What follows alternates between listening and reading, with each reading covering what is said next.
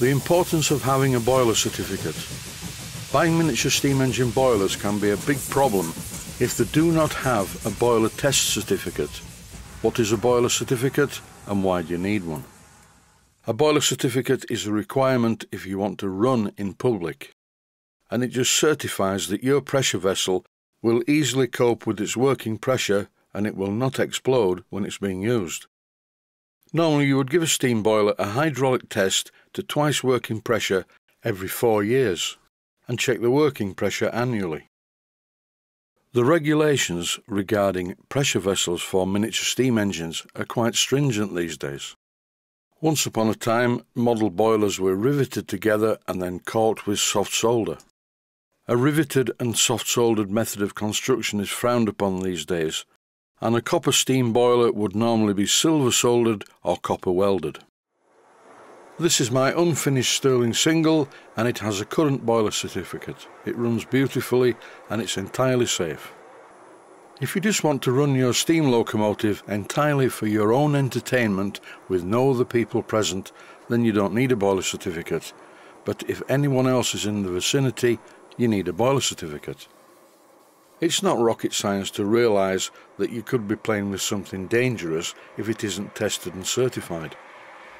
Locomotives like these that run in public spaces have to have a current boiler certificate at all times. Personally, I've never seen a steam boiler explode, but I do have a book showing full-size boiler explosions and it's horrific. If you have a steam engine like this one, a Mamod steam tractor, you do not need a boiler certificate. These small steam toys are exempt because they run at a very low pressure. But when they get a bit bigger, and this is a 5 inch gauge simplex locomotive, they definitely need a boiler certificate.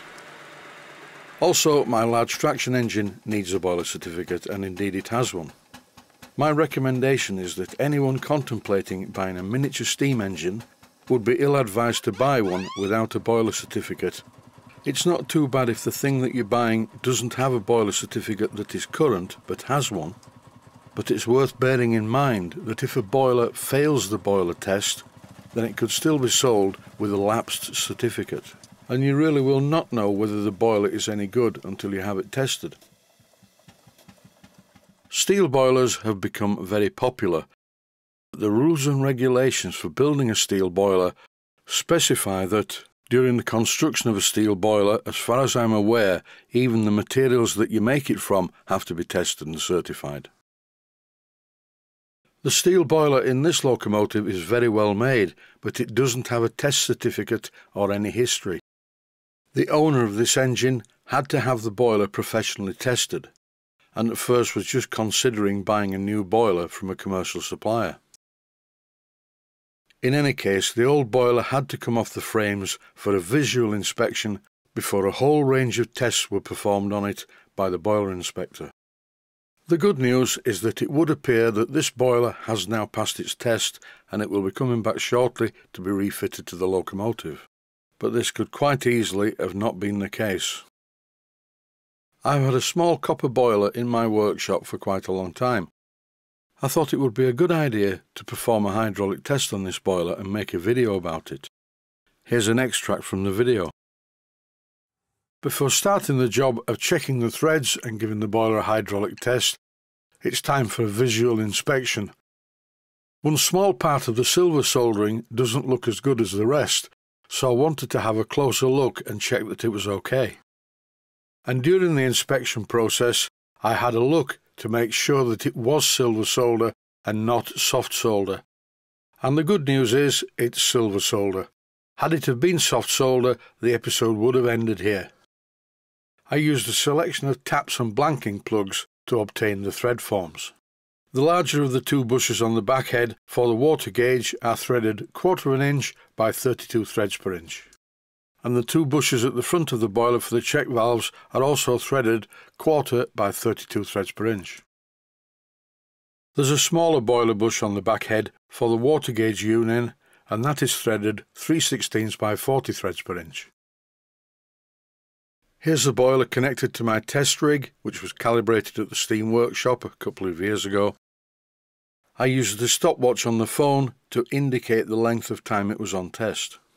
For the purposes of the video, I left this boiler on test for an hour, which is much longer than the normal requirement. I would say that this small boiler has passed the hydraulic test with flying colours. The annoying thing is, though, I need to have this boiler tested by an appointed boiler tester at either the club that I'm a member of or at my friend Simon Hudson's place called the Steam Workshop.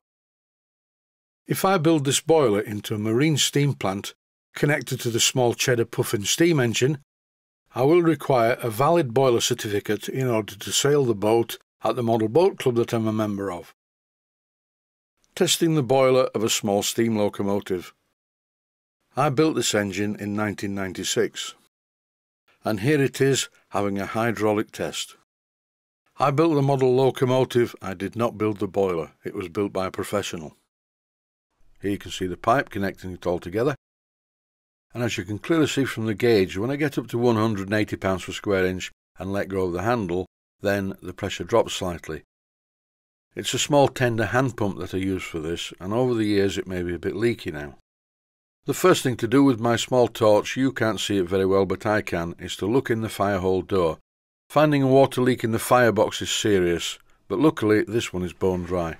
As the pressure was ramped up to 180 psi, the water gauge glands started leaking, so this was an easy fix, I tightened the nuts. For the purposes of the video, I pumped the boiler up to 190 pounds per square inch or 196 pounds per square inch because as I've just mentioned, when the gauge was calibrated I found out it was 6 pounds per square inch out. This clip shows the view from the inside of the smoke box and as you can see everything in here is very dry, no water at all, not even a drop. This has always been a good boiler. It was built for me by a friend of mine, a professional model engineer, and his name is Randy Blackburn a model engineer extraordinaire. Some of the things he used to make amazed me. He also built me a boiler for a Highlander, which is a seven and a quarter inch gauge Black 5, and a Sweet William. And believe me, both of those boilers were incredibly heavy. The water gauges stopped leaking, so I went in the house and made a cup of tea, and about 15 minutes later I came back and dropped the pressure. I dropped the pressure just by opening one of the steam valves. After a hydraulic test, to complete the sequence, you need to perform a live steam test. And here is my friend Alexander Carnes driving the locomotive around my garden railway at my other house. The live steam test is really to test the safety valves.